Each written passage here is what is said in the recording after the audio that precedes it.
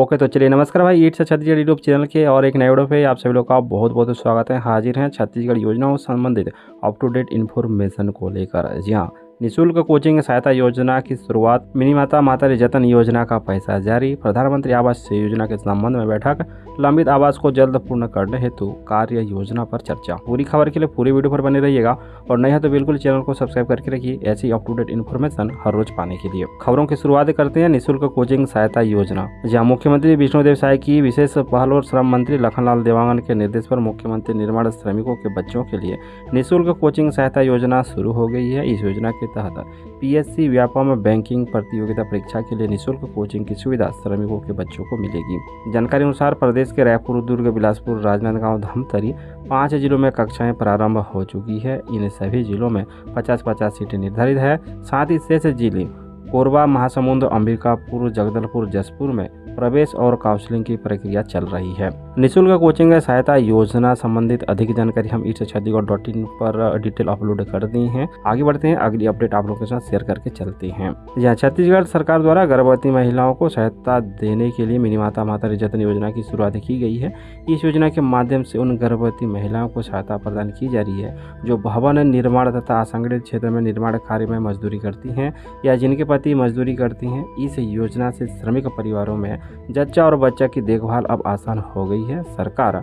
गर्भवती महिलाओं की संस्थागत डिलीवरी के लिए बीस हज़ार रुपये की आर्थिक सहायता देती है। खबर अनुसार महासमुंद ज़िले में मिनी माता जतन योजना की शुरुआत से अब तक आठ हज़ार आठ सौ छियालीस हितग्राहियों को लाभ मिला है। मिनी माता जतन योजना के संबंध में भी हम अपने ईट चंडीगढ़ डॉट इन वेबसाइट पर डिटेल अपलोड कर दिए कैसे आप पंजीयन करा सकते हैं, कैसे आप आवेदन करा सकते हैं, योजना के लिए कौन कौन सी पात्रता होना चाहिए कौन कौन से डॉक्यूमेंट की आवश्यकता होती है, सारी चीज़ें हम अपने वेबसाइट ईट चंडीगढ़ डॉट इन पर अपलोड कर दिए लिंक वीडियो का डिस्क्रिप्शन बॉक्स में मिल जाएगा। फिर भी शॉर्टकट में जानकारी आप लोग के साथ शेयर करके चलते हैं। मिनी माता जतन योजना का लाभ लेने के लिए महिला श्रमिकों का छत्तीसगढ़, भवन एवं अन्य सनिर्माण कर्मकार कल्याण मंडल के अंतर्गत पंजीकृत होना अनिवार्य है।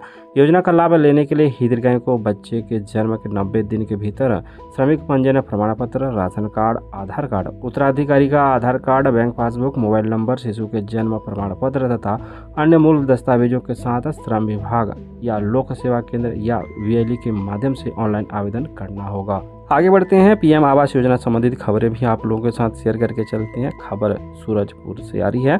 कलेक्टर श्री रोहित व्यास के निर्देशन में ज़िले में सभी के लिए पीएम आवास योजना अंतर्गत हितग्राहियों को पक्का आवास उपलब्ध कराने की दिशा में निरंतर कार्य किया जा रहा है। इसी क्रम में जनपद पंचायत सूरजपुर में प्रधानमंत्री आवास योजना को लेकर बैठक अनुविभागीय अधिकारी राजस्व द्वारा लिया गया। इस बैठक में सभी ग्राम पंचायतों के सचिव एवं रोज़गार सहायक उपस्थित थे। इस दौरान सभी ग्राम में लंबित आवास को जल्दी पूर्ण करने हेतु कार्य योजना पर चर्चा की गई, एवं उचित दिशा निर्देश तय किए गए। इस दौरान कहा गया कि ग्राम पंचायत में पदस्थ समस्त कर्मचारी को साथ रखकर सभी हितग्राहियों में के घर जाकर उन्हें प्रोत्साहित करते हुए आवास निर्माण कराएँ। प्रधानमंत्री आवास शासन का सबसे प्राथमिक का कार्य है, जिसमें गरीब परिवार को सहायता स्वरूप आवास निर्माण हेतु राशि विभिन्न किस्तों में उनके खाते में भेजा जाता है। साथ ही यदि किसी व्यक्ति द्वारा राशि का दुरुपयोग किया गया हो तो उसे नियमानुसार वसूली की कार्रवाई भी की जाएगी। तो इस तरह से पीएम आवास योजना संबंधित खबरें सामने निकल कर आ रही है। सूरजपुर से किसान भाइयों जैसे ही पीएम आवास योजना संबंधित अन्य जिलों को लेकर जानकारियाँ अपडेट आएगा, इस चैनल के माध्यम से इन्फॉर्मेशन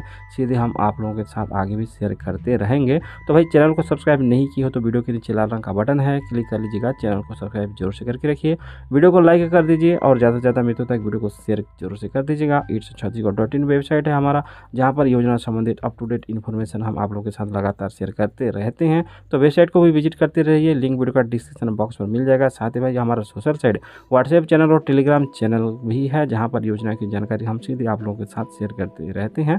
तो इन सब लोगों का लिंक वीडियो का डिस्क्रिप्शन बॉक्स में मिल जाएगा। आप चाहें तो हमें सोशल साइट के माध्यम से भी फॉलो कर सकते हैं। फ़िलहाल इस वीडियो पर बस इतना मिलते हैं अगली वीडियो पर। तब तक के लिए जय जोहार नमस्कार।